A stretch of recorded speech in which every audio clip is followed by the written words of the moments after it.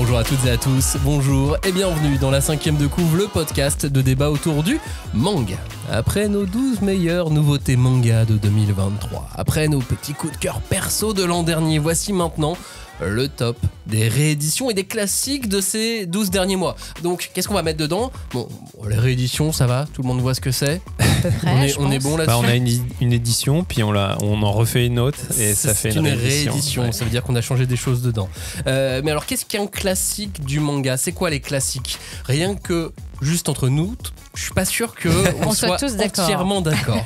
mais on l'a mis dans, on les a mis dans, dans cette émission. On, on sait même pas si euh, vous vous serez d'accord avec nous. Mm. Qu'est-ce qu'un classique? Pour moi, un classique, c'est euh, bah, un manga sorti genre jusqu'aux années 80-90. Ah, c'est daté quoi. C'est Ah. vraiment, il y a une datation Bah, euh, au carbone Date de 14. péremption même, j'aurais dit. Ah, Alors, pour moi, c'est tout ce qui est, on va dire, euh, près 2000.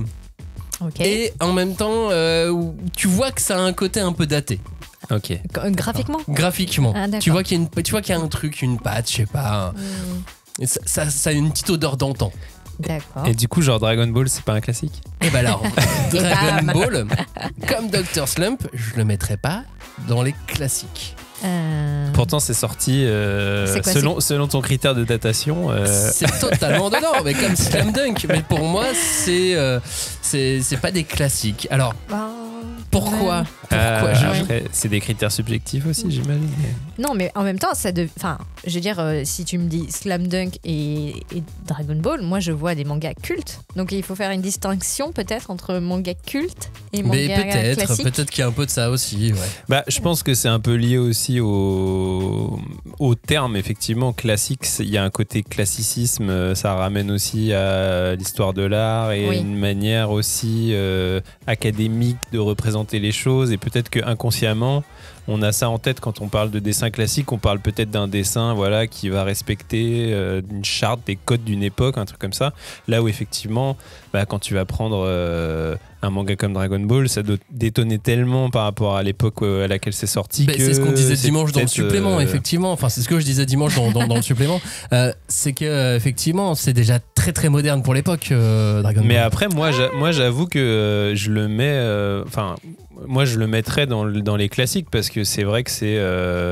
C'est une œuvre euh, qui a été éditée, rééditée, Ré- euh, qui rééditée. ré- rééditée. Euh, Aujourd'hui, ça serait même plutôt dans les et rééditions. qui fait partie du. En fait, elle fait tout simplement partie du patrimoine du manga, tu vois. Donc, en fait, moi, c'est un peu ça là-dedans que je mettrais un classique. C'est est-ce que ça fait partie du patrimoine de l'art dont on parle et et, euh, et après, euh, c'est décorrélé de toute notion esthétique ou tout, ou tout ça. C'est est-ce que ça s'inscrit dans l'histoire du médium? Et pour moi, euh, Dragon Ball, oui. Donc, c'est un classique. À ce moment-là, tu mets, tu mets Death Note aussi.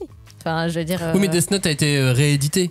Oui. Donc, du coup, euh, ça va dans les rééditions. oui, est-ce que du coup il est un classique C'est ça la question. Après, c'est par, par rapport à notre classification d'émissions, hein, je, Ouais. je- je dis ça dans, dans ce sens-là aussi, puisque euh, l'idée c'était de, de mettre aussi des vieux mangas qu'on peut pas considérer comme une nouveauté, qu'on Ouais, peut oui. pas mettre naturellement. Je peux pas mettre Arion et euh, je sais pas ce qui est sorti et Who's Next euh, sur euh, la Mais- même planète. Mais je pense que, on, en- on, on- à mon avis, on en parlera dans l'émission, mais c'est c'est que il y a aussi aujourd'hui euh, un cas de figure qui est qu'on a accès à des classiques ou accès à nouveau à des classiques qui étaient vraiment quasiment indisponibles. Et ça, du coup, ça, ça va aussi euh, créer ce distinguo parce que euh, typiquement Arion, c'est pas culte parce que ça c'est pas suffisamment connu en France pour que ce soit culte, mais c'est un classique parce que c'est un vieux manga qui aujourd'hui est disponible dans une édition. euh, collector. euh, Enfin, ouais, et puis je veux dire, une édition, oui, il est tout simplement disponible, tu vois. Ouais. Donc en fait, il est accessible aux gens et tout. Et pour la première fois. Et pour la première fois. Donc ça, c'est vrai que ça, ça va un petit peu brouiller les pistes.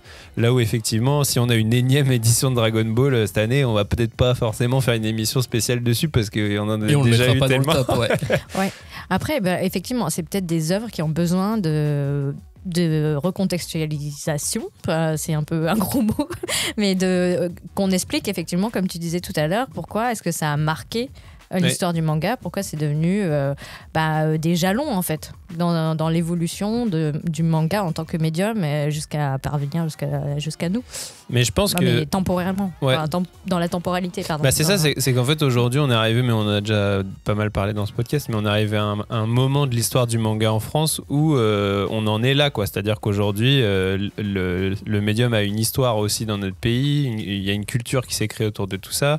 Hein, une culture commune et tout et, euh, et donc maintenant il est temps d'effectivement euh, faire ce vrai travail aussi patrimonial euh, matrimonial aussi. euh, matrimonial, euh, effectivement, euh, de euh, presque aussi universitaire. Enfin, je sais pas, tu vois, il y a vraiment un truc aussi de, de recréer l'histoire, de, de recontextualiser, comme tu disais. Bah, c'est ce que je dis. Je pense quoi. que le, le- le dernier mot et le bon mot, c'est le tien, Julie. C'est effectivement ça. la- la- le, le fait de devoir contextualiser une œuvre euh, fait peut-être peut-être d'elle un classique Ouais. avec des guillemets. Ah, Mais tu vois, peut-être qu'un jour on aura l'édition chez PUF de Dragon Ball avec, les explications. avec vraiment les, les- les- les explications, les notes de bas de page et machin, Bah, tout on, ça. on verra dans un an parce que thèse. cette année, il y a une réédition de Dragon Ball qui arrive cette année. Ah. L'édition full color, on vrai. verra. Ah, Est-ce oui. qu'elle sera dans le top de l'année prochaine on, verra. C'est l'heure d'écouter euh, le générique en attendant. On revient tout de suite. On ne pousse pas, s'il vous plaît. On ne pousse pas, c'est inutile. Le public n'est pas autorisé à assister aux épreuves éliminatoires. Moi, je crois que je pourrais être un très bon ninja. À quoi vous jouez L'heure est grave, c'est pas le moment de faire les guignols Mais on n'a rien d'autre à faire, on peut pas sortir. On va leur faire notre attaque secrète L'attaque de la Tour Eiffel, ils vont rien comprendre Et il faudra aussi parler des dessins animés, notamment des dessins animés japonais qui sont exécrables, quoi, qui sont terribles.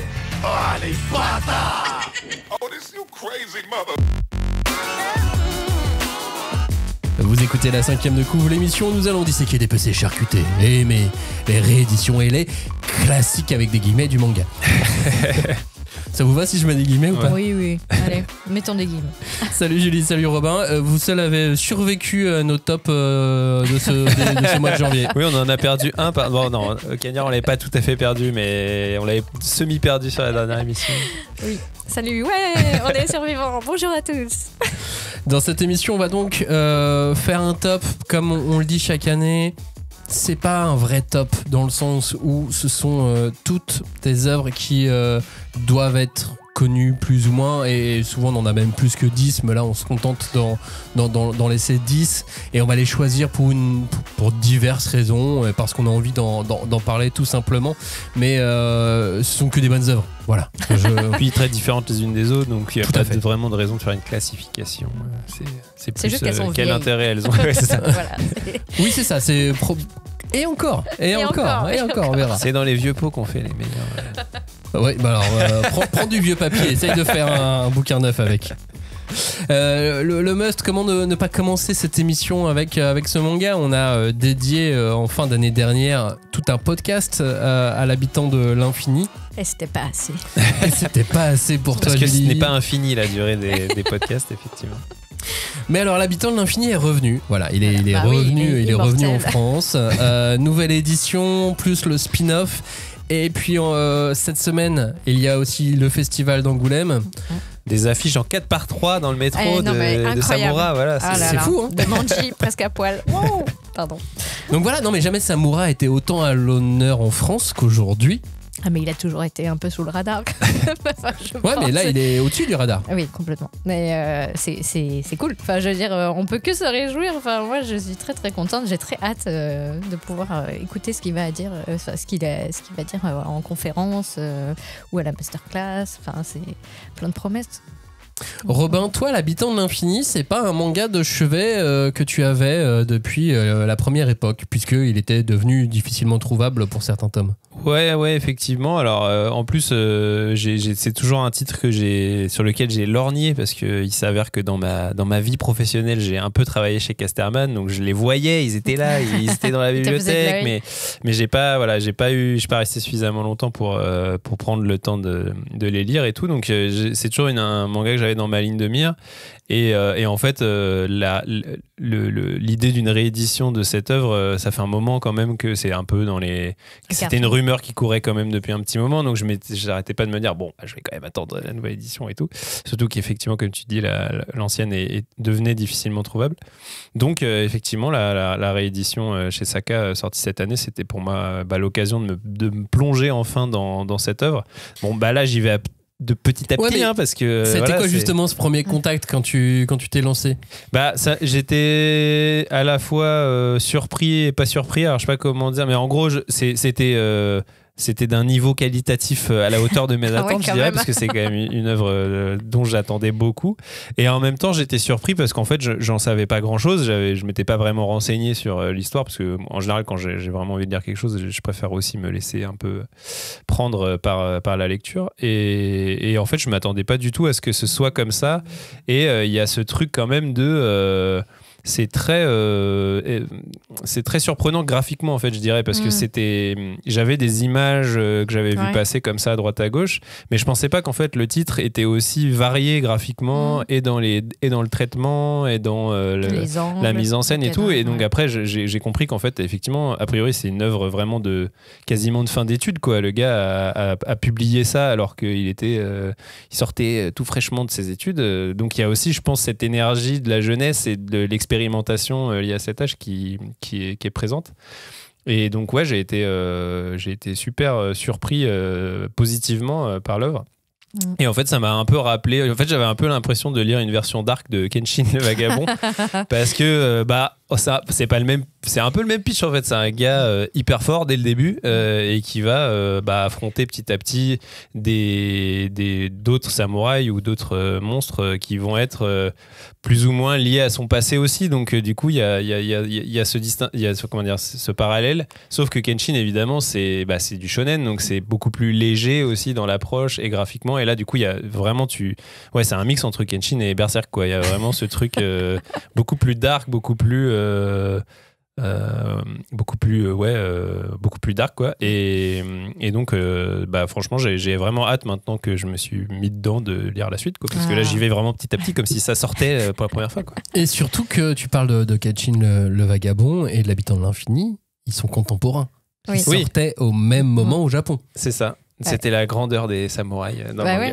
Et d'où le somme de, de Kishimoto qui voulait, qui voulait se lancer sur une histoire euh, enfin, de manga historique. Et là, il a vu euh, les lauriers tomber euh, à la fois bah, bah, chez Samura et, et pour, pour l'auteur de Kenshin.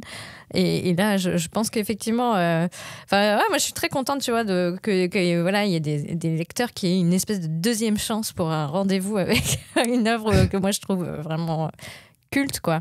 Et d'autant plus que. hum, je, enfin, je pense qu'il a, une base de, fans assez solide. Il, n'a pas fait que l'habitant de l'infini. Euh, et pourtant, euh, c'est vrai que c'est, son grand œuvre, en fait. Enfin, c'est, euh, c'est vraiment ça qui va être célébré pendant le festival d'Angoulême. Euh, ce ne sera pas les autres œuvres qui seront mises en avant dans Bah, c'est le visuel quoi c'est vraiment euh, Oui, et, et, euh, et en fait, euh, je pense que c'est. Enfin, on, on l'avait déjà dit euh, donc, euh, pendant l'émission qui lui était consacrée, mais c'était. Scroller un petit peu, voilà. Faut Voilà. remonter, elle, elle est pas si, non, a pas non, si c'était en novembre, quelque chose comme ça. Mais en fait, c'était, c'était, c'est quand même euh, l'œuvre euh, qui a vraiment fortement influencé toute, euh, toute une génération d'auteurs, quoi. Donc graphiquement et dans la façon d'utiliser aussi les angles de vue issus du cinéma, qui était, enfin, c'est vraiment un découpage cinématographique. Il y a des chorégraphies de, de combat qu'on retrouve dans les bah, des films de sabre ou des films de d'époque, quoi. Comment dire de, des films historiques euh, de genre euh, Chambala par exemple.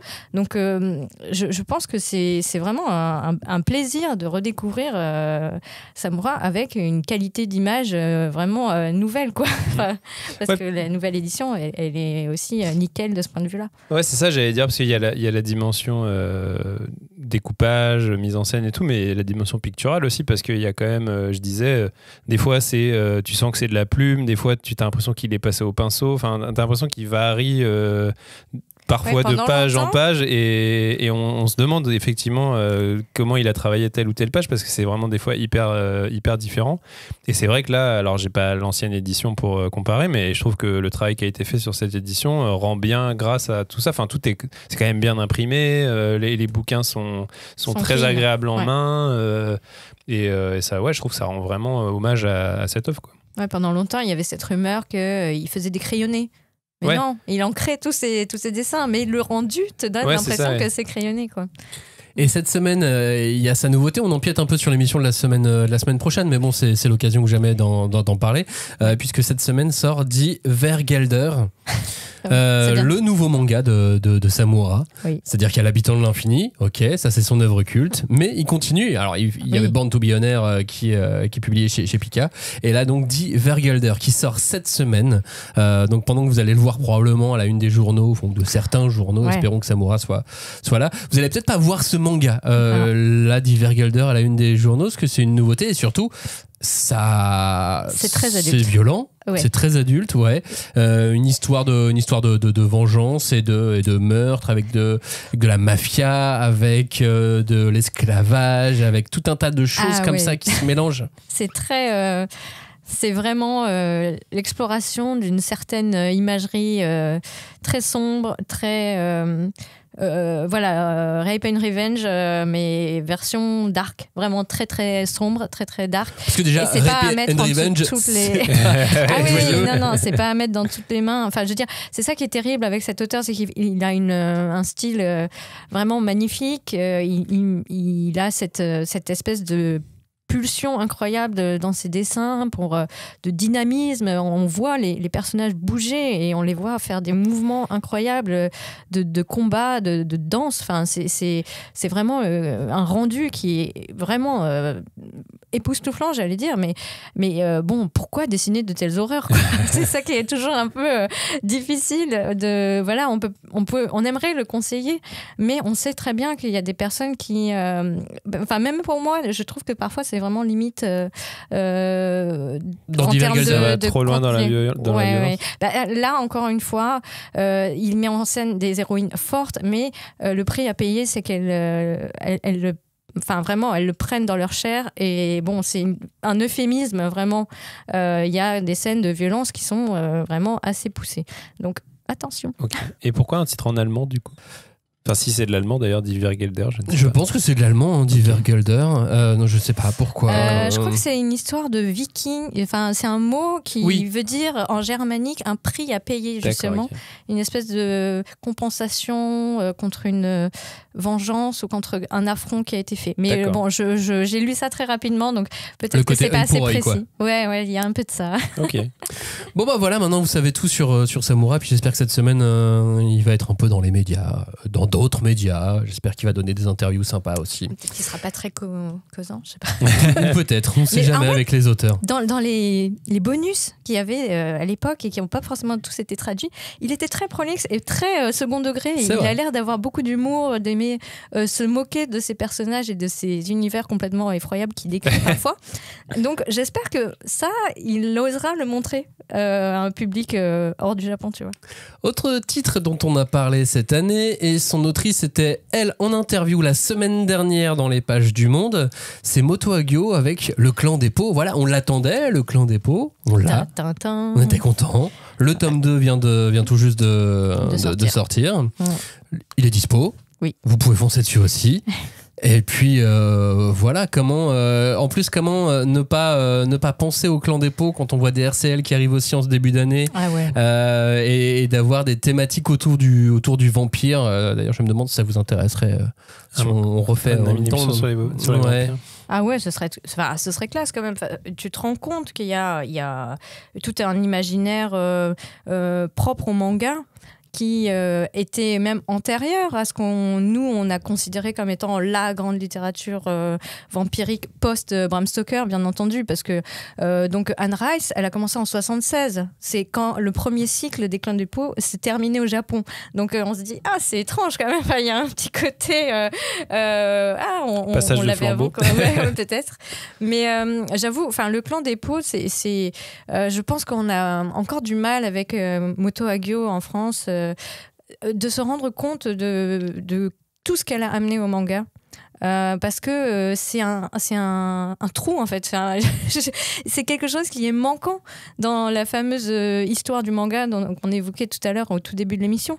Elle, elle a posé des jalons, elle a encore une fois prouvé euh, à toutes les, tous, les gens de sa génération et après euh, la qualité qu'on pouvait trouver dans le manga. Enfin, je ne sais pas comment dire, mais techniquement, elle a euh, vraiment euh, euh, eu l'approbation de tous les créateurs de son époque et donc des générations après, parce que elle a, elle a montré, elle a démontré par A plus B que non, c'était pas parce que tu avais juste du papier, et des crayons, des plumes et des trames que tu pouvais faire des choses simples et, et elle a, elle est elle a élevé vraiment ce, ce médium à un rang d'art artisanal. Enfin, et je pense qu'il y a des gens euh, qui sont en admiration totale, euh, dont Samura, euh, parce que on vous l'avait dit dans l'émission euh, euh, qu'on lui avait consacré, quand on lui a dit ouais, tu seras au festival d'Angoulême et hey, il y aura Moto Hagio, il a fait quoi? Et Il s'est étranglé de, de surprise parce qu'il se compare pas. Enfin, je veux dire, et c'est une grande dame du manga,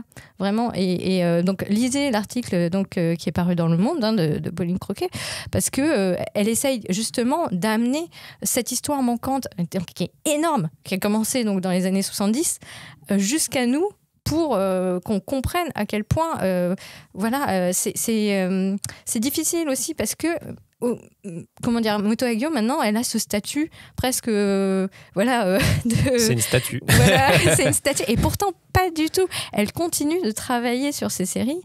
Euh, là, elle, elle a elle a annoncé en avril dernier, enfin depuis euh, 2016, que le, plan- le clan dépôt justement euh, reprenait. Donc euh, ça fait depuis 2016 que chaque année elle euh, produit un nouveau euh, chapitre. Et on, a, euh, ouais, euh, donc elle a, moi j'avais vu une, interview qu'elle avait donnée en, en japonais en, demi- en avril de 2023.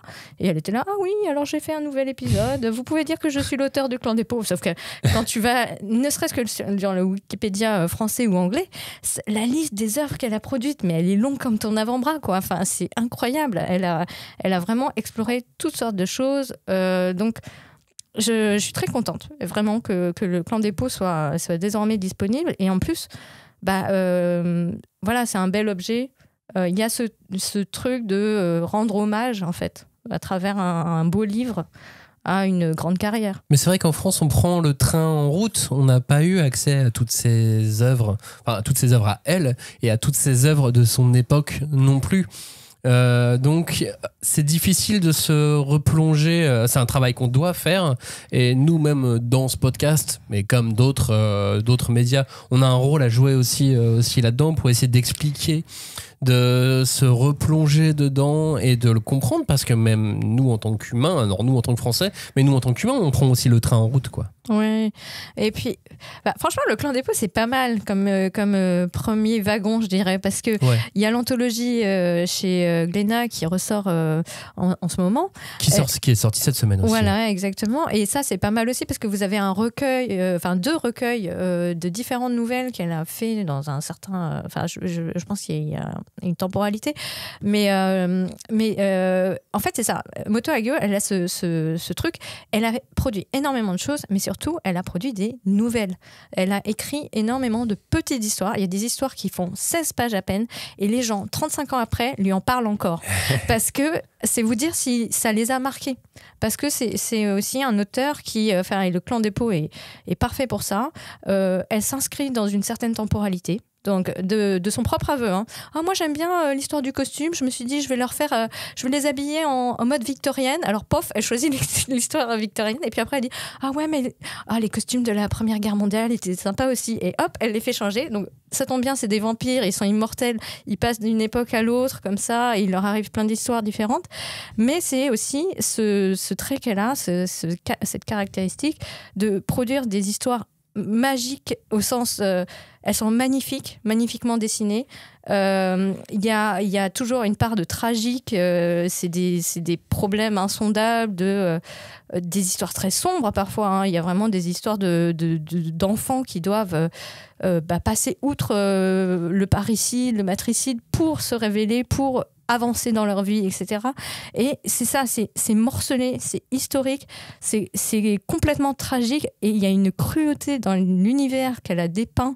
Et en tout cas, dans le clan des pots, bah, la thématique des Vampanella euh, est quand même parfaite pour, euh, saisir tout ce truc qu'elle aime de alors les gens diront ouais c'est trop théâtral mais non ça fait partie aussi du décorum et de ce qu'on attend pour avoir euh, quand même un bon effet cathartique tu vois je pense Mais je, suis- je suis pas contre moi les mangas quand ils sont trop euh, trop thé- oui oui trop trop théâtral de, de cette manière. Tu vois la, la semaine dernière je parlais de Kaio Dante qui était Mm. là aussi Bah d'un ouais. manga d'un- auteur d'un certain âge euh, lui aussi.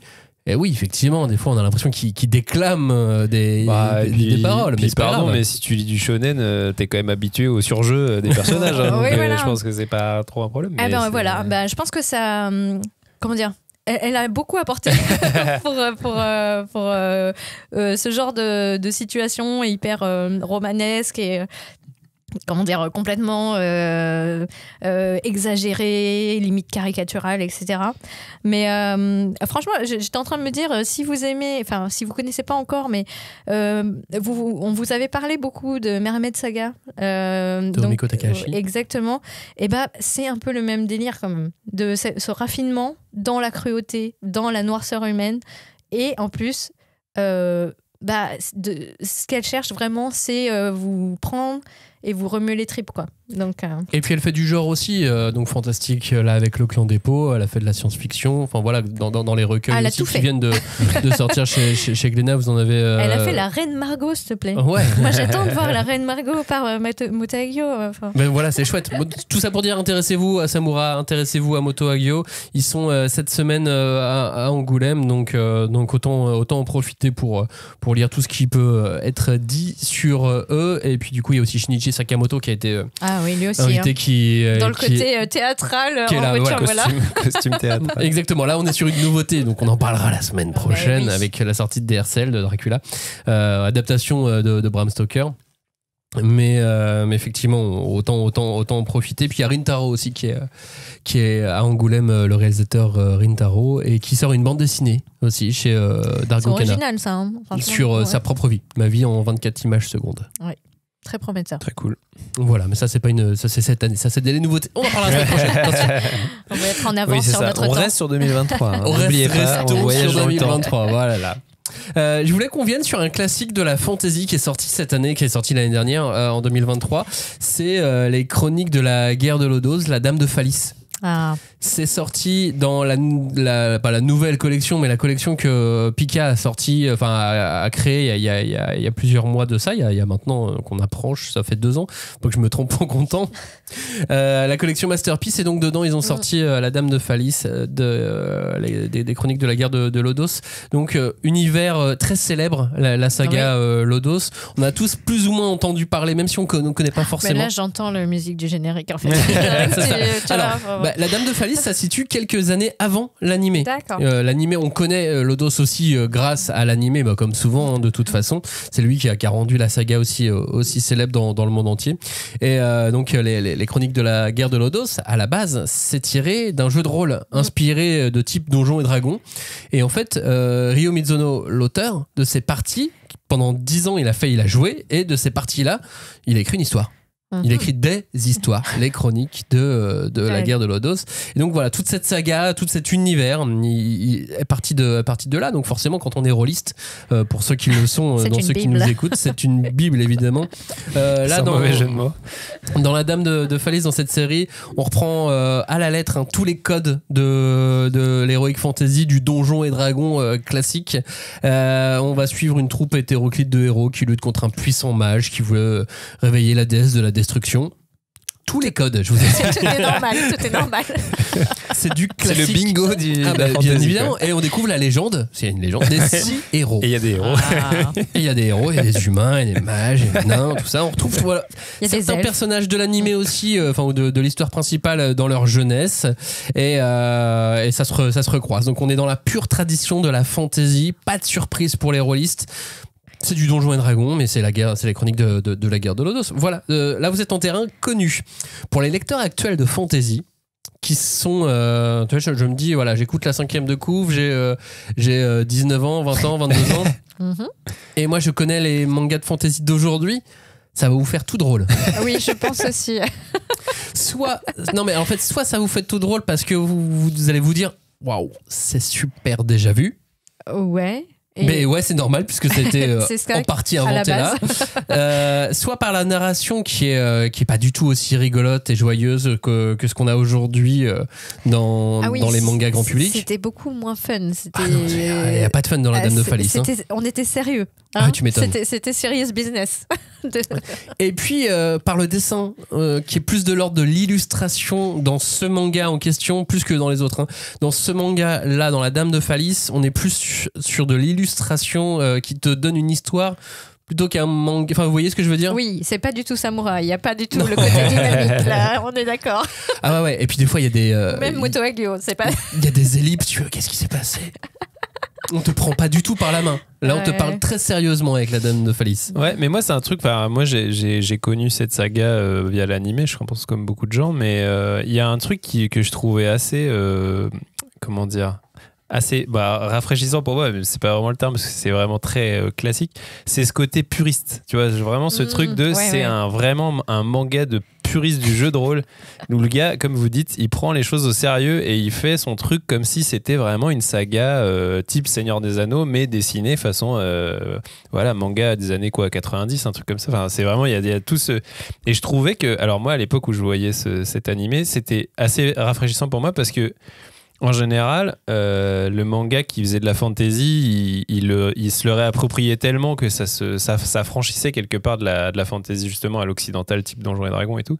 Et là, il y avait vraiment cette espèce de symbiose totale entre euh, un graphisme purement manga, purement japonais, quoi, dans les designs et tout, et euh, un respect euh, et très très fidèle et très ouais gardien de chapelle du jeu de rôle, tu vois, et du truc vraiment, on fait les choses sérieusement avec. Bah, tous les codes et tous les trucs. Et moi, j'ai tou- j'ai toujours trouvé que cette saga avait un charme assez, euh, assez particulier euh, par cette, euh, cette espèce de synthèse entre les deux univers euh, qui, que j'ai jamais vraiment retrouvé finalement dans un autre euh, manga. Quoi. Mais est-ce que c'était pas aussi qu'il fallait euh, construire les enfin ce que nous maintenant on connaît euh, en, temps- en termes de communauté qui s'exprime, euh, tu vois, euh, bah, dans des univers comment numériques, ce qui n'existait pas du tout quand Oui. ça a été créé, et qu'il fallait rassembler quelque part bah, les gens qui avaient cet attrait pour ces univers et ces codes et ces jeux, parce que c'est des, aussi c'est des dynamiques narratives qui sont très euh, prononcées, quoi, qui sont vraiment euh, propres euh, à, à- à ces univers-là. Bon, je suis pas du tout dans, dedans, mais,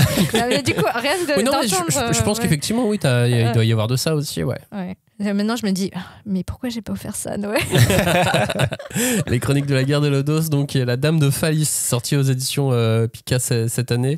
Et puis c'est plein de défauts, hein, vous allez voir. C'est pas c'est pas le, le- le manga parfait, mais Ah, je trouve la- que dans l'univers de Lodos, dans pour les fans de fantasy, hein, il, il est un, c'est un marqueur quelque part aussi. C'est ce la Madeleine de Proust, moi, je dirais. Ouais, ouais, je pense qu'il y a un peu ce côté. Manga suivant, je vous propose maintenant de parler de Mochizuki. Ah. Parce que bon, euh, est-ce qu'on le fait pas chaque année ça? Autre ambiance.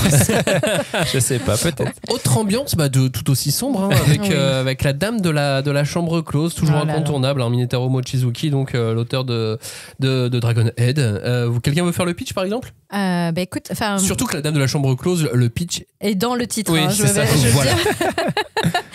Mais euh, de, de- de mémoire, c'est un, un jeune qui déménage dans un vieil appartement et il est très intrigué par sa voisine qui est très étrange et qu'il aperçoit parfois, euh, comment dire, entre deux portes, quand ils se croisent comme ça, quand on part et que l'autre rentre, ou bien parfois même il y a, des interstices dans les, dans les cloisons qui séparent leurs deux habitations. Et, et ça devient très très très bizarre. Oui, parce qu'en fait, très rapidement, euh, elle-même va s'intéresser à lui et il va y avoir tout un jeu euh, qui va s'inverser complètement. De lui, au début, il est pas fasciné, mais en tout cas euh, très intrigué par elle et l'endroit où elle vit. Et en fait, au bout d'un moment, cette espèce de rapport de force va s'inverser complètement et lui, il va se retrouver un peu dépassé par, par la situation, on va dire. Et alors, qu'est-ce qui vous a tant, tant plu, tant touché dans, dans, dans ce titre? Est-ce que C'est une, des- c'est une des premières œuvres de, de Mochizuki. Ouais, bah en fait, euh, c'est une des premières œuvres euh, et, euh, et effectivement, ça, je trouve que ça se voit quand même graphiquement. Oui, c'est quand vrai. même clairement moins abouti que c'est des œuvres type Shisakobe euh, qui sont beaucoup plus récentes. Euh, mais, mais par contre, ce qui est déjà là quand même, c'est cette espèce de sens de la mise en scène, ce sens de, malaise. du malaise, mais aussi de, de, de- voilà, d'arriver à imposer des situations, à créer des- espèces de cases comme ça où le, le temps va s'arrêter et où toi, lecteur, tu vas être complètement pris dans le dans, euh, dans l'angoisse du personnage qui vit, qui vit la scène et tout. Enfin, il y a, il y a vraiment, en tout cas, euh, toute une science du manga d'horreur et du manga d'ambiance un peu horrifique comme ça qui est, déjà présente en fait. Et, et clairement, euh, je pense que c'est effectivement un manga prototype qui lui a beaucoup servi pour faire Dragonette plus tard parce que même si c'est un récit qui, qui joue pas tellement euh, complètement sur le même registre, il y a quand même euh, ouais, un, un langage qui est déjà là. Quoi. Et ça, c'est c'est toujours cool quoi, de, de, de, lire aussi ça. Puis il y a le visage de cette fille, c'est tr- tr- très Euh, long. Oui, bah, en plus c'est un- très inspiré de légendes urbaines. Oui, il y, a- il y a Euh, ça aussi. Il y a tout ce, ce- cet imaginaire-là qui, euh, pendant longtemps, euh, bah, donc, a existé au Japon. euh, Bah, c'est presque un nom de yokai, quoi, la dame du, de la oui, chambre close complètement. en fait. C'est les yokai urbains Ouais, c'est ça, qui sont un peu euh, les, les descendants des yokai euh, de la nature euh, qui étaient présentés par Mizuki. Et, euh, et en fait, euh, en fait, pendant, alors je vais faire un aveu, c'est que pendant très longtemps, comment dire, je l'avais lu. euh, je n'avais pas pu l'acheter à l'époque. Et j'étais persuadée que c'était du Junji Ito pendant très Oui, longtemps. mais- Et, et là, quand il l'a ressorti, je me suis, euh, donc je, je me suis dit, mais non, tu es bête. Tu- tu- Qu'est-ce que tu avais dans les yeux? Donc, euh, non, non, c'est tout ça pour dire que, bon, euh, voilà dans le, dans le registre hein, euh, auquel euh, appartient euh, cette œuvre-là. Euh, mais du coup, j'ai oublié ta, ta question de tout à l'heure. Excuse-moi, Max. Euh, non, je crois que je sais pas, pas posé de question. Non. Je rebondissais juste sur le physique effectivement de- de- du personnage féminin euh, qui a un grand visage. Oui, Ouais, voilà. très allongée, effectivement. Bah, elle est très grande, le personnage euh, fait souvent référence à ça aussi. C'est que c'est aussi un de ses attributs qui la rendent euh, bizarre. Ouais. ouais, c'est effectivement qu'elle est très grande et qu'elle est même potentiellement physiquement plus forte que, que lui, tu vois. Donc il y a aussi tout un jeu là-dessus sur euh, le rapport physique aux choses et tout. Et. hum, Oui, ou même homme-femme. Ouais, voilà, Enfin, ex- déjà, exa- exactement. Et, et non, non, ouais, mais je comprends complètement que tu pu te, te dire, ça aurait pu être du Junji Ito, tu vois, c'est clair. Mais, mais en même temps, moi, c'est ça que je trouve vachement bien. Et pour rebondir un peu sur ce qu'on disait en début d'émission, c'est ce truc de aujourd'hui euh, avoir accès à aussi un patrimoine d'auteurs. Euh, avec un S, quoi, c'est-à-dire euh, vraiment chaque auteur commence à avoir maintenant toute son œuvre, des auteurs qui évidemment commencent à être établis, tu vois, Mochizuki, euh, si on réédite la date de Dame de la Chambre Close, c'est aussi parce que depuis il y a eu Dragonette et, et Shisakobe et tout ça qui ont voilà, aussi constitué son, aura sur le territoire français. Et du coup, c'est bien aussi que maintenant, euh, tous ces auteurs-là, il y a un accès à leur œuvre euh, globale et ça permet aussi, voilà, je dirais pas que La Dame de la Chambre Close, c'est le manga le plus euh, inoubliable de cet auteur, mais en tout cas, c'est hyper intéressant de lire ça et de le recontextualiser, comme on disait aussi, sur l'œuvre de ce mec et qu'est-ce que ça a pu amener derrière. Et puis en vrai, c'est un one-shot, C'est une très bonne lecture. c'est une super lecture, euh, c'est une histoire super bien tenue, euh, c'est quand même de très grande qualité, quoi. Donc c'est. Puis et- ça date de 1993. euh, Il y avait déjà les Super Saiyans. Ouais, hein, tu veux pas qu'il Non mais devienne en, classique. en fait, ce que je trouve fou, c'est à la fois de se dire que euh, il y a plein de mangas qu'on découvre pour la première fois maintenant dans une édition en France, et il y a aussi tous ces mangas type La Dame de la Chambre close qui sont des rééditions de trucs, mais où on était passé complètement à côté de ça parce qu'en Mm. fait, à l'époque, ça On avait dû être un test par Glénat de faire du manga. Ils ont euh, ils ont acheté tout ce qu'ils pouvaient, ils ont fait des trucs et ils ont sorti, et, et le marché était pas mûr euh, pour tout ça, tu vois. Et maintenant, euh, clairement, euh, on se rend compte que c'est le cas, donc c'est cool aussi. Mochizuki, la dame de la chambre close, c'est dispo aux éditions euh, Glénat. Je propose de faire un petit détour par les ventes. Alors pas forcément euh, des ventes de réédition parce que c'est difficile de faire un, un classement très très précis de, de ce côté-là, mais on fait souvent chaque année le, le meilleur lancement des rééditions et licences. On mélange un petit peu les deux pour tout ce qui n'est pas série originale, nouvelle Explique série bien pour originale. Johnny parce qu'il avait pas très bien compris la dernière Oui, fois. mais ça fait chaque année qu'on doit l'expliquer. Euh, ouais. c'est comme ça. J'ai pas pu m'empêcher quand même de laisser en numéro 1 le voyage de Shuna parce que Ah oui. c'est le meilleur lancement. Il va dans toutes les catégories, je trouve. C'est vieux et en même temps, euh, c'est C'est pas une c'est série. même Miyazaki verse, voilà. donc euh, c'est c'est de la licence. Eh, c'est le- la Nausicaa, base de c'est presque un spin-off de Mais Nausicaa. oui, c'est Ouais. ça. Donc Ouais. voilà. Donc. Voyage de Shuna, évidemment, meilleur lancement, euh, réédition licence, tout ça. Euh, deuxième meilleur lancement, évidemment, One Piece épisode A. Volume 1 Ace Euh, l'attaque des titans et l'édition euh, c'est une édition anniversaire ils ont refait une édition euh, du, du tome 1 euh, Mais il y en a combien qui euh, ouais, beaucoup Euh, quatrième c'est le manga Sanji's Food Wars Oh là là, toujours One là on Piece. mélange deux licences Ouais. Non, combo. Food Wars Ouais. One Piece Ouais. avec Sanji Oh là là. pas mal. Euh, Blue Lock, l'épisode de Nagi, donc le spin-off de Blue Lock en 5. Demon Slayer School Days, les retards sont strictement interdits. Sixième meilleur lancement. Hein. Dès que ça s'appelle Demon Slayer, ça part. hein. Euh, Dragon Ball Super Super Héros, l'animé comics du film. Ce titre, j'arriverai jamais à m'y faire, mais Et alors, il y a un manga dont on a très peu parlé parce que ça ne s'adresse pas spécialement à nous. Ouais. Miraculous, Ladybug et Chat Noir. Cocorico. 1. Cocorico. C'est Oui, dans le top 10 des meilleurs lancements euh, licence Mais c'est très cool. cette, quoi. cette licence, c'est incroyable. Moi, je trouve quand même, c'est c'est fou, quoi. Je trouve ça. Oui. Voilà. Et surtout, ça se danse très bien au 31. C'est réveillant avec les enfants. Ah, le générique, tu veux dire Ouais, Ah oui, euh, oui je- je- j'ai aussi des enfants autour de moi qui, qui aiment bien. qui aiment bien et qui ont chanté. J'ai fait lire le manga, enfin j'ai fait lire, non, j'ai dû lire le manga, euh, Ah. une partie euh, des enfants aussi, ça marche, euh, c'est très très euh, accessible. Ok. Voilà, pour les. Alors, si vous avez des enfants fans de, de, de Miraculous ou si Ou si vous-même vous euh, l'êtes fan. euh, fan de, fan de Miraculous. Euh, neuvième, c'est la réédition, euh, la perfecte édition de Solitaire, j'en parlerai dans quelques instants. Et puis dixième, toi, Robin, qui est joueur de jeux vidéo et joueur de ce jeu vidéo, ça devrait te, te plaire. Dixième, c'est Elden Ring, le chemin vers l'arbre monde. Oui, mais euh, j'ai pas, j'ai pas encore lu. je dois avouer. Pourtant, j'ai vraiment beaucoup joué au jeu, mais j'ai pas. Moi, j'ai pas joué du tout au jeu, mais j'ai lu le manga, il m'a fait rire. Ah, il est drôle. Oui, mais je, alors moi, je comprends pas comment on peut faire rire dans un univers comme Elden Ring. C'est quand même vraiment l'univers à l'opposé, l'antithèse complète de, de l'humour, tu vois. C'est vrai.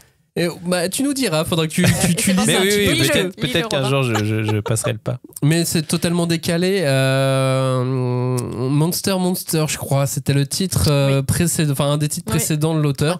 On en avait parlé en trois temps. On en avait parlé dans une très vieille émission de la cinquième de Cove qui n'est, à mon avis, plus disponible. euh, Ah, je- Voilà, sur. YouTube. Après, c'est vrai mais- que graphiquement, ça avait l'air assez bien tenu quand même. J'avais, j'ai vu passer des pages et je me suis dit, bon, c'est quand même Mais c'est ça, en fait. mais- Le gars, il dessine trop bien. Et dans les, blé- dans les bulles, il, il raconte que de la merde. que de grosses bêtes. Bah, Mais en même temps, il y a tellement peu de dialogue dans le jeu, Elden Ring, que c'est vrai que tu peux imaginer beaucoup de choses. Il nous reste une vingtaine de minutes d'émission. Et il nous reste encore six, euh, six mangas, six, six, six rééditions. On a fait le plus gros là. hein.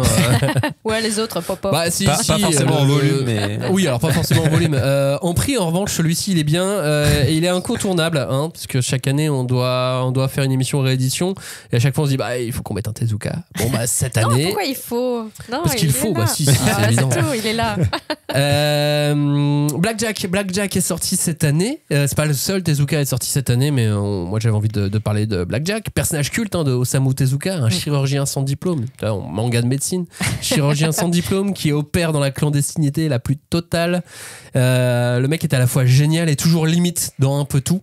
C'est-à-dire qu'il est. Ah ouais, il est borderline. Partout, tout Ah le temps. ouais, c'est- En même temps, pour opérer dans la clandestinité, faut pas non plus Oui. euh, Avoir trop de scrupules. oui, c'est ça. Ouais, bon, bref. Sauf qu'il passe sa vie à sauver euh, la vie des autres. Ouais. Mine de rien. Bah ouais, c'est ça. Pour un mec borderline, finalement, il a une espèce de, il a une espèce de, de notion comme ça de, du, du- bien qui est euh, très particulière. Euh, chaque nouveau cas, c'est pour euh, Tezuka l'occasion de dévoiler à chaque fois un regard acéré, sans concession sur, sur la nature humaine. Et à chaque chapitre, on en, on en prend plein la tête. Et le manga reste en tête hein. quand tu lis une histoire de Blackjack. En plus, ce que j'aime bien, c'est que tu n'es pas obligé de. Il y, y a le tome 1 qui est sorti. Euh, T'es pas obligé de, de- de tout lire d'un coup. Oui, Non. c'est ça. C'est des Là, c'est des petites euh, histoires. Il y a, y pas de, enfin, il y a y très peu de fil rouge finalement. Et euh, fil de suture, oh, oh, pardon. Et on m'a dit que je faisais des jeux de mots pourris sur le sur le Discord. Je vais arrêter. Pardon. Mais euh, non, mais je, je vais dire, au Japon, il est vraiment culte ce personnage. Enfin, et il, il fait partie du du, fanté- du, du fameux, pardon, euh, panthéon. Tezukesque euh, et, euh, et je suis désolée il y a des gens qui disent ouais mais Tezuka il a pas tout inventé Et tous les, tous les personnages de médecins, un peu limite, un peu véreux, un peu le pied dans le monde de la mafia, tout ça, bah vous savez de qui ils tiennent, quoi. Enfin, c'est c'est quand même lui qui est quand même Blackjack à la, à la base, à la racine de ce type de héros. Euh, Et quand bien même il Ouais, n'a voilà. pas tout inventé, il a imposé. ouais, et Parce que enfin, euh, quand, on, quand on me dit, c'est toujours un terme assez, euh, assez, assez vague, quand on dit ouais, c'est machin qui a tout inventé. Alors, oui, il a imposé en fait. Il n'a pas forcément inventé, mais il a imposé. Et c'est lui qui est resté dans, dans l'histoire. Oui. Donc euh, c'est lui le gagnant. voilà. Comme toujours. Euh, L'autre truc que je voulais dire aussi sur, euh, sur Blackjack, c'est qu'effectivement, l'édition, euh, bah, moi je l'aime bien, je la trouve jolie, mais effectivement, c'est cher. Mm. On est sur, euh, on est sur des, des livres à 30 euros. euh, à 30 euros, il va y en avoir plein. Alors, sur Blackjack, on n'est pas. Ça dépend qui, quel est votre niveau de collectionnite. On n'est pas obligé de tout avoir non plus. Bah, après, c'est t'as as quand même envie d'en savoir un peu plus. Donc, oui. t'as cette espèce de grosse carotte de est-ce que dans le prochain épisode, tu vas en savoir un peu plus sur lui euh, sur ses origines, Alors, sur ses, ses- son passé.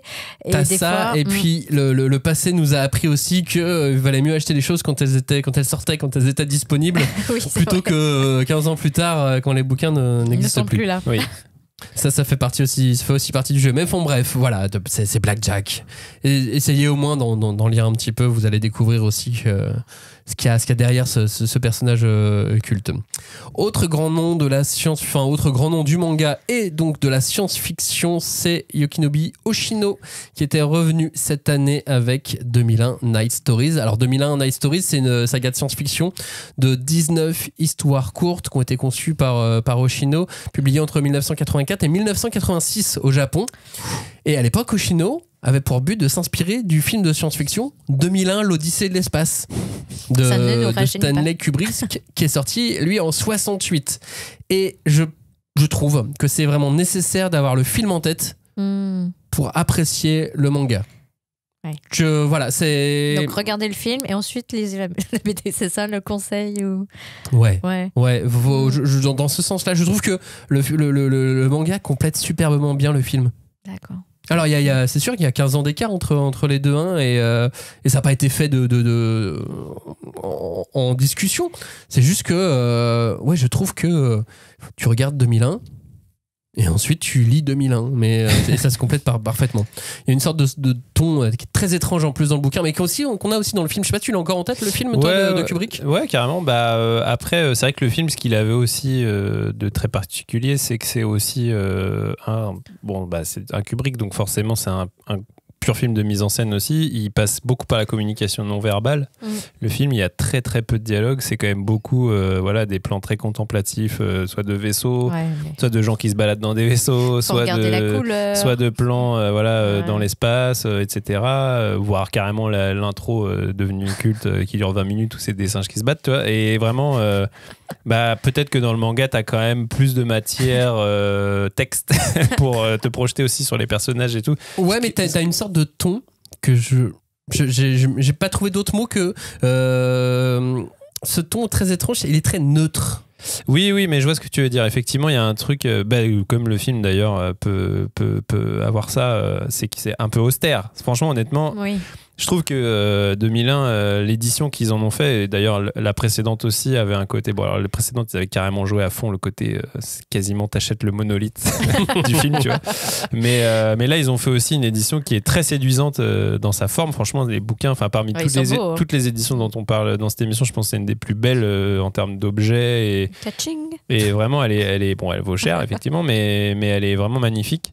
Euh, par contre, c'est vrai que quand tu l'ouvres, tu peux pas te départir du fait que c'est quand même très austère, quoi, en termes visuels et tout. Donc, faut aussi, euh, je pense qu'il faut se mettre dans un état d'esprit euh, particulier. Mais c'est ça à tous les niveaux, je trouve. Même le lettrage, enfin, tout est très, voilà, très, très austère. Est-ce Mais que tu dirais c'est méditatif? Je sais pas si c'est méditatif, mais non, mais c'est vrai que quand Max dit euh, neutre, c'est clinique, ouais, c'est ça. Il y a un côté, tu sais, euh, très euh, Épuré. Ouais, très Ouais. épuré euh, à tous les niveaux euh, et ça fait, ça peut donner une, une impression effectivement de froideur de côté. Et en termes de, de- de science-fiction sur ces 19 histoires, c'est aussi très chirurgical. C'est-à-dire Oui, qu'on a pris la science-fiction, on a ouvert le corps de la science-fiction, et on a pris un à un tous les organes de la science-fiction pour faire une histoire dessus. Quoi. Waouh. Il y a vraiment toute la science-fiction qui est représentée, je trouve, dans ce 2001 Night Stories. Mais c'est ça, en fait, je pense qu'il faut le, il faut presque le voir comme une espèce d'anthologie sur la science-fiction Mhm. euh, faite par un mangaka, plus Mais que euh, voilà, parfaitement le Kubrick. plus, Ouais. plus que comme une vraie saga entre guillemets euh, où tu vas être porté par euh, Ouais, une les- aventure. Euh, non, les dans ce de tu peux lire Blue Hall. Oui, Ah ou les héros de la ou galaxie. Les héros, pardon. Mais sinon, non, mais du même auteur, tu lis Blue Hole. Et, Oui. et là, effectivement, ça, Il y a un peu c'est autre chose. Dynamisme, je pense. Bien sûr, ouais, Ouais, ouais, ouais. ouais, ouais. Mais par contre, c'est très classe dans sa bibliothèque. euh, si vous Ah oui, voulez, oui, oui. si vous l'avez eu à Noël comme moi, vous pouvez offrir. Bon, je me la suis offert moi-même, mais Et c'est dispo aux éditions euh, Glénat. On va du côté de chez Naban maintenant pour un autre grand nom euh, du manga, de la science-fiction aussi euh, par, par moment, euh, pour parler de Yas, euh, Yasuhiko euh, et du manga Arion, premier manga de Yoshizaku Yasuhiko, qui est un, un auteur et cara designer de, de grand talent qui a travaillé sur la première série Gundam hein, à la fin des années euh, 70 Oui. et au début des années 80. Et là, c'est pas une réédition parce que c'était jamais sorti en France, Arion. Euh, Arion, c'est le fils de Déméter qui est enlevé par son oncle Hadès et il est envoyé euh, par le maître des enfers pour tuer Zeus, prétextant une solution qui permettrait à sa mère de, de recouvrer la vue. Et ainsi débute un voyage initiatique pour Arion qui, en traversant les, les domaines des dieux, sera euh, amené à comprendre toutes les tensions qui règnent, euh, son rôle dans les guerres euh, divines. C'est épique, c'est charmant, c'est très daté quand même. Ah oui, Parce que là, on parle d'un manga qui date du début des années euh, Mhm. 80 par un cara designer de génie, de talent, mais euh, qui était dans son, dans, dans son époque euh, et qui ensuite. Là, c'est- lancé avec, euh, avec ce. Enfin, c'est lancé. Il avait déjà une carrière qui, qui était bien, euh, qui, qui avait bien commencé, mais qui s'est lancé dans le manga avec ce titre Arion.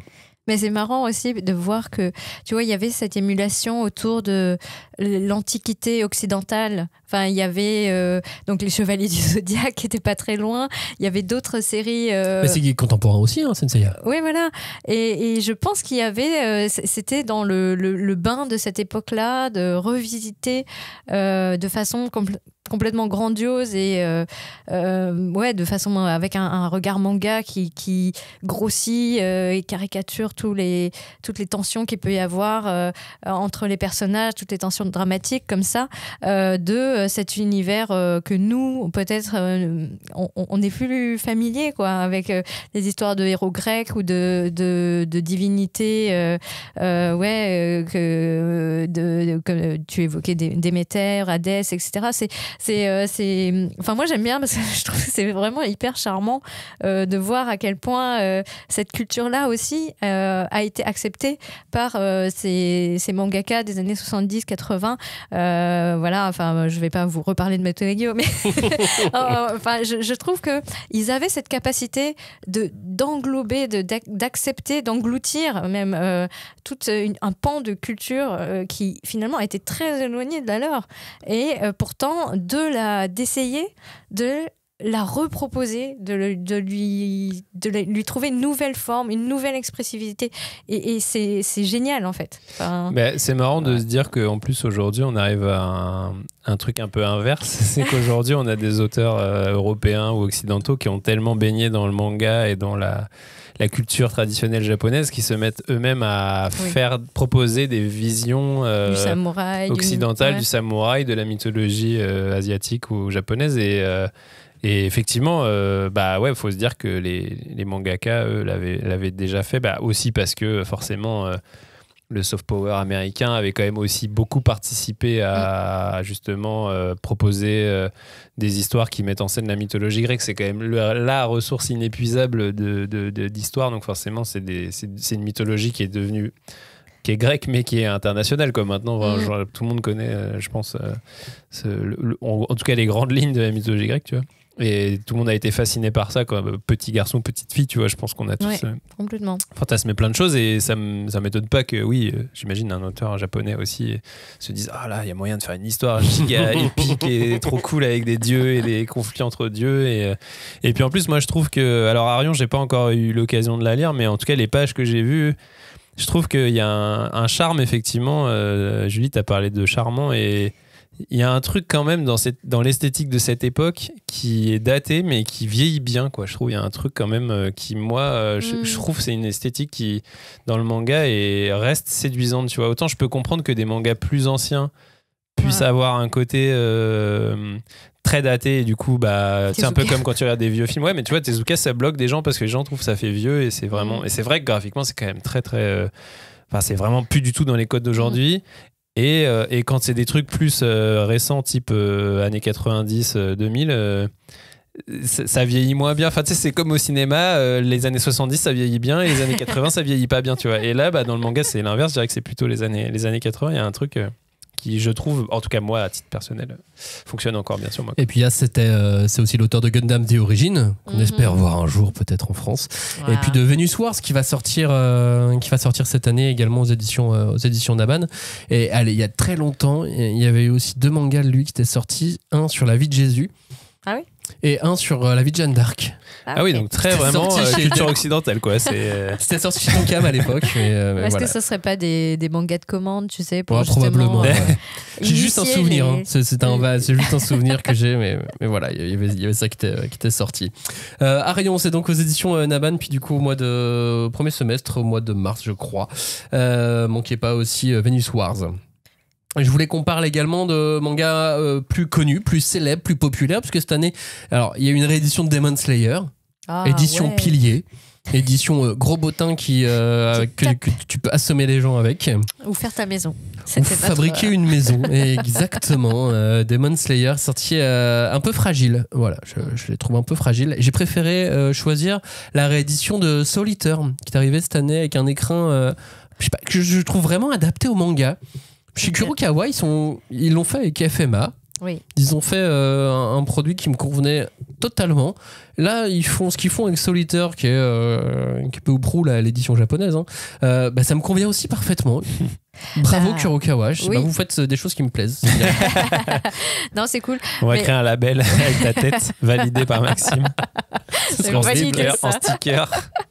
Mais euh, bah alors, enfin moi j'en avais déjà parlé bah, pour FMA justement, mais je suis désolée, le côté euh, le noir euh, papier glacé Ah. où t'as des traces de doigts qui restent, je suis un peu déçue quoi. Enfin je- j'ai toujours du Mais mal c'est à parce que t'as les doigts sales. Voilà, et ben, je suis désolée. Euh, et puis je, je veux pas le prêter hein, pour ça aussi parce que je me dis c'est un peu dommage. Mais je pense que c'est une question d'habitude parce que c'est vrai que dans le manga, on, on a beaucoup eu euh, bah, principalement des éditions sur papier bouffant ou Mm. offset ou avec voilà, des papiers qui ont un peu du grain et du toucher et qui boit un peu le- l'encre. Et là, effectivement, c'est des éditions qui sont sur du papier euh, bah, qui est plus courant en BD franco-belge pour le coup, le, le papier un peu. Alors, c'est pas vraiment glacé, mais c'est Oui. en tout cas, c'est beaucoup plus lisse euh, que, que, que le papier habituel. Du coup, c'est pas- c'est vrai que t'as pas l'habitude, mais en même temps, c'est vrai que ça rend vachement mieux Et les, ça tient bien la les masses de noir, euh, c'est c'est plus solide. euh, C'est en vrai, c'est du papier de meilleure qualité, mais c'est juste que c'est une question d'habitude, je pense, qu'on n'a pas. Et, et moi, en vrai, à titre personnel, c'est pareil. hein. Moi, j'avoue, FMA, ça me saoule d'avoir du papier, du papier lisse, du papier qui glisse. Qui alors est plus lourd. voilà. Et en plus, il est lourd. Mm. Mais ouais, mais sur. Solitaire, ça Ah marche. là là. Je sais pas, moi si j'aime c'est bien. lourd, c'est bien. Si Oui, vous parce avez que- jamais lu Solitaire, lisez-le, hein, surtout. Mais en fait, important. c'est parce que C'est ça lui apporte euh, ce qu'il avait, enfin, quand dire qu'il a intrinsèquement, c'est une sorte de classe. Ouais, je- je trouve que ce dessin et cette mise en scène, la façon dont il présente ses personnages et il les fait évoluer dans les cadres, dans les cases. Ils ont toujours de la prestance. Même quand ils disent vraiment de la grosse merde, même quand ils sont dans des situations ridicules, il y a une espèce de de vraiment, il n'y a pas d'autre mot, de style, de classe, de tenue des personnages qui est, qui est euh, mais euh, comment dire, délectable quoi. Enfin, c'est vraiment évidemment. un plaisir. Donc, lisez Solitaire et ensuite vous lisez Fire Force. Vous enchaînez oui, directement parce que Fire Force se termine cette année en France. Euh, on n'a pas encore eu le, le- le- le- le dernier tome, mais, euh, mais voilà, il va arriver cette année. Donc, euh, donc voilà, lisez Solitaire. Donc euh, vous vous retapez tout, puis ensuite vous lisez Fire, euh, Fire Force et, euh, et vous allez être très heureux à la fin. Euh, et puis du coup, vous enchaîner sur Gachiakuta qui est pas de lui, hein, mais, euh, de son assistante. mais du donc. coup, ça peut être dans la même famille. Voilà, c'est tout. Allez, avant de terminer cette émission, un petit mot aussi sur euh, Makoto-chan. Ah, Bah ouais, un peu d'horreur mignonne. oui. bah c'est Oumez, quoi. C'est Oumez, un gag manga d'horreur scato rigolo. Euh, les arts noirs, Makoto-chan, c'est un manga à l'humour vraiment régressif. hein. Quand je dis scato rigolo, c'est... Ah ouais, mais même au niveau psychanalytique, tu es vraiment régressif à ce niveau-là. L'histoire, c'est celle de Makoto Sawada, qui est un petit garçon euh, de maternelle, à qui il arrive des aventures euh, désopilantes. En fait, le concept de la série, hein, il, est, il est simple. À chaque chapitre, il y a une histoire. Et euh, lui, il a sa petite coupe au bol, euh, son, ses blagues pipi caca, et des fois, il met les vêtements de sa mère, de sa sœur. Il y a toujours la morve qui pond au nez. Euh, et à chaque fois, il y a une, on part d'une situation banale et on la pousse très, très, très, très, très, très loin dans l'esprit de Oumez. Et il leur transmet. Et voilà, c'est une facette, euh, la facette horreur pour de rire euh, de, de, de Oumez que, que, que j'aime bien, qu'on connaissait pas tant que ça euh, dans, dans ses parutions françaises. On était vraiment sur des choses plus horrifiques. Tout court, non? Bah oui, c'est vrai que bon, euh, on l'a surtout connu en, en France euh, par euh, l'école emportée, Par et exemple, ouais. Baptism, Baptism, euh, ouais. chez chez Glénat. Euh, et après, c'est vrai que le, le Lézard Noir a fait un beau travail de, de remise en avant de son œuvre, mais où on restait, c'est vrai, euh, quand même sur des œuvres. Alors, Shingo, c'est pas forcément une œuvre spécifiquement horrifique, mais en tout cas des œuvres quand même beaucoup plus adultes Et plus sérieuse, et plus sérieuses. Et là, effectivement, c'est Bah, c'est la récréation. récréation, hein. ouais, Ça, ouais, ouais. bah, ça rejoint ce que je disais tout à l'heure sur euh, voilà, t'as l'éventail maintenant de, de l'œuvre du mec. Oui, et puis en fait, finalement, c'est ça aussi qui est intéressant, c'est que on a tendance aussi à vouloir euh, très vite catégoriser des gens en disant il a fait ci, il a fait ça, ou elle a fait ci, elle a fait ça. Puis bah, tu regardes, euh, en fait, ils, ils ont une espèce de volonté aussi de vouloir explorer euh, différents styles graphiques, différents univers. Euh, euh, quand il y en a une, euh, bah, elle a dit ah, je veux faire de la SF. Son premier éditeur, elle a dit ah non, non, on fait pas ça chez nous. Donc elle a dû trouver quelqu'un d'autre qui acceptait d'éditer son travail.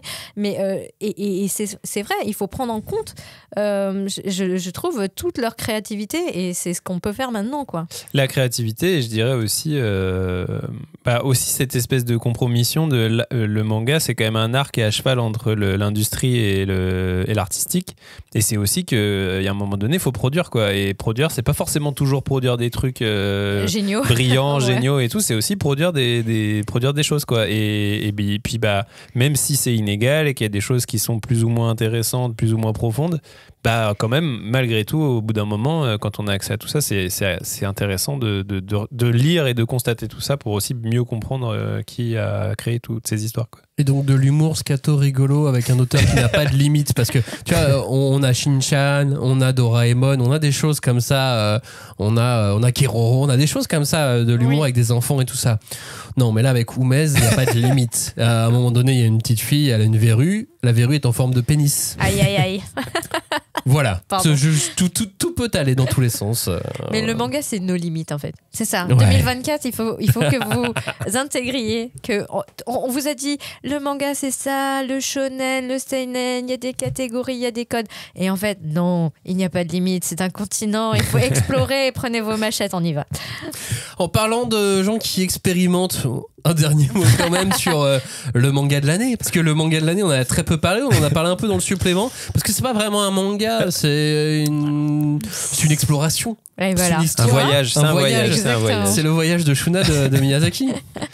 Bah oui oui c'est euh, c'est C'est beau. c'est beau. C'est beau. C'est- C'était un peu une arlésienne aussi parce qu'au final, euh, on, en- on, on sait que ça existe depuis longtemps ce, ce- ce truc et on se demandait effectivement quand est-ce que ça allait arriver chez nous.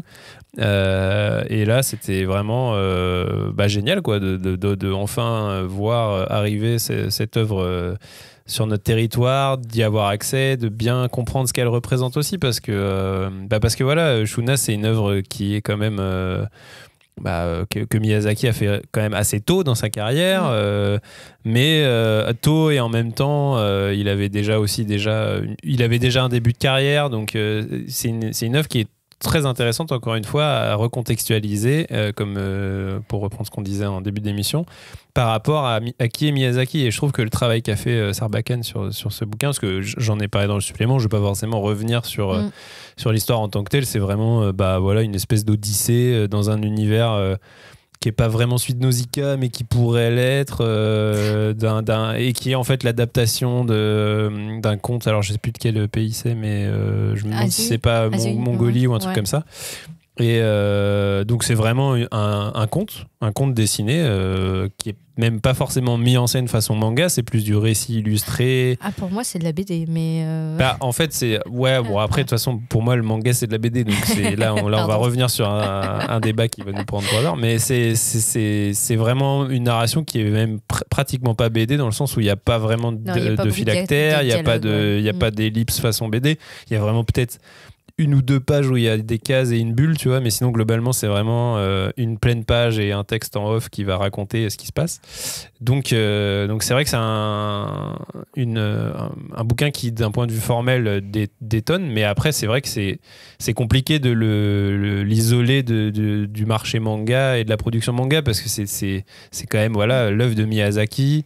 Café Nausicaa, euh, qui est quand même une série manga, euh, enfin une des plus grandes séries de manga de l'histoire du manga, tu vois, et donc et ça s'inscrit tellement dans cet univers et dans cet imaginaire là que voilà, ça paraît naturel aussi de le mettre, euh, Bien de le sûr. mettre là-dedans. quoi. Ouais, en fait, enfin, moi j'allais dire, le voyage de Shuna, c'est le, le, le rêve de, de Miyazaki. C'est c'est celui qu'il a, qu'il a fait et qu'il a ensuite décliné dans différentes euh, productions euh, animées. Donc euh, heureux, heureux nous sommes d'avoir eu du son et de la lumière et enfin je veux dire je pense que c'est aussi voilà c'était ça le, le voyage de Shuna c'était la promesse de mettre en mouvement euh, tout ce, monde qu'il portait en lui et qu'il nous a offert. Euh, Enfin, je veux dire, ça fait pompeux quand on le dit comme ça, mais euh, il, faut, il faut dire ce qui est. C'est que c'est beau, c'est plein de promesses, ça a toujours été pacifiste, ça a toujours été apaisant quelque part, euh, même si ça se voile pas la, face sur euh, les difficultés qu'il y a dans ce voyage, dans, ce- dans cette euh, quête de réalisation. Et, et en fait, enfin, rien que pour ça, c'est- génial d'avoir pu enfin, voilà, l'avoir dans un, encore une fois, un bel objet. Maintenant, voilà, le manga, c'est pas seulement des petits fascicules qui sont un peu mal fichus, un peu mal imprimés et euh, parfois mal scannés pour reprendre les, les premiers euh, habitants de l'infini, hein, no offense. Mais euh, maintenant, voilà, on a, des, on a des beaux livres bien mis en page avec du beau papier. Et ouais, c'est sûr, ça fait un peu mal à tirelire, mais, mais ça fait Oui, oui, bon cœur, là c'est un one shot donc ça va. Mais, euh, mais par contre, ouais, pour, pour rebondir aussi, c'est que euh, ce qui est intéressant avec Shuna, c'est qu'il y a aussi euh, une histoire derrière l'histoire du, du livre. Mm. C'est l'histoire de effectivement Miyazaki. Pourquoi il a voulu faire ce livre? Avec cette forme-là Parce que même pour nous, c'est surprenant d'avoir du Miyazaki sous cette forme-là, mais au Japon aussi, tu vois, c'est quand même Oui. un, un bouquin qui est, qui est assez euh, hors norme. Et, et ça, je trouve que justement, dans ce travail de re- recontextualisation, c'est bien, mis en avant aussi dans l'édition qu'on a. Tu as, une préface ou une postface, je me rappelle plus, de Miyazaki qui explique bien. euh, voilà, euh, à quel moment de sa carrière il a eu besoin, il a eu envie de, de- de faire ce livre? Pourquoi finalement ce livre il a cette forme-là? Parce qu'il y a aussi une question euh, bah, de compromis, tout simplement. C'est qu'en fait, euh, oui, idéalement, Miyazaki il aurait voulu en faire un film à ce Ouais, moment-là de sa carrière, mais c'était hein. pas possible pour X ou Y raison. Et au final, il s'est dit, bah, en même temps, cette histoire-là, j'ai trop envie qu'elle existe. je, je, je- je vais la faire dans une forme qui lui permettra d'exister, tu vois. Et, et je trouve que ça, cette démarche d'auteur aussi, très. Euh, bah, très intègre, elle est, elle est bien, euh, bien retranscrite dans l'édition qu'on a. Et puis franchement, enfin moi, je- comme disait Julie, c'est magnifique. Enfin, c'est un immense dessinateur, Miyazaki. Si vous aviez encore des doutes là-dessus, je- juste feuilleter ce livre et regarder comment il dessine, comment il dessine les personnages. En plus là, il y a la couleur, il y a aussi tout, tout, tout ce travail euh, à l'aquarelle et tout. Mais c'est, enfin, c'est vraiment somptueux, quoi. C'est- Le voyage de Shuna aux éditions euh, Sarbacane, c'était aussi euh, bah, c'est le, le- le meilleur lancement de. The winner. The winner is le voyage de Shuna. Bien voilà, on a terminé cette, euh, cette émission. Juste pour compléter sur, euh, sur Miyazaki, si vous avez encore un peu, de, un peu de, de budget en ce moment, il y a deux magazines qui sont sortis euh, Mm, et vrai. qui valent le détour. Il y a un, un- un- un numéro de Animascope consacré euh, aux garçons et, et aux hérons et, et à Miyazaki euh, plus largement. Et puis le dernier Animeland aussi avec 100 pages de Et puis Nausicaa, elle est super. Et puis après, évidemment, si vous l'avez pas, mais ça, tout le monde l'a déjà. je sais pas. Merci d'avoir écouté, merci à vous d'avoir participé à cette émission. On espère encore donc pouvoir bien recontextualiser tout plein de choses Ah, voilà. C'est devenu le terme. Ça sera le terme de l'année. Ah non mais voilà, Julie, elle a vraiment mis le doigt sur le truc. Oui, et attends, j'ai un truc pour la semaine prochaine.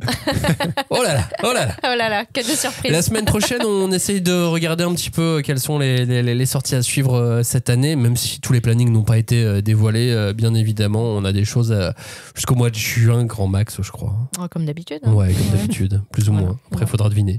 Faudra Boule de imaginer. C'est ça. faire des théories. Tout à fait. Merci de nous avoir écoutés. Bonne lecture à vous et à la semaine prochaine et à dimanche sinon. Ciao, salut. Salut. Merci.